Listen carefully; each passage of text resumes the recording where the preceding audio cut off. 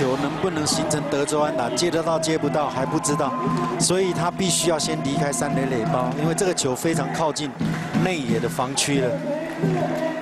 你看他是先离开，哎，接到再回去踩已经来不及。不过有个疑问是，有个疑问是。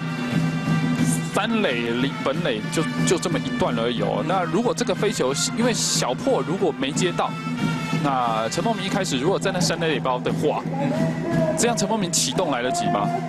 他启启动是来得及，因为这是扑接的。对，嗯，那就是陈梦明为什么一开始要离垒？因为跑这个球打出去的距离不是很远。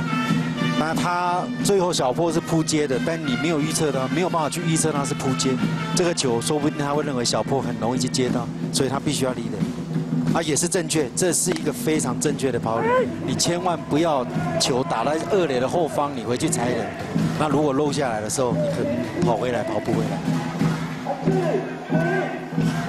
这个整个球的距离，三垒跑垒员必须要做这个判断，所以陈风敏这个理解是正确的，不应该去踩垒，所以这料警号，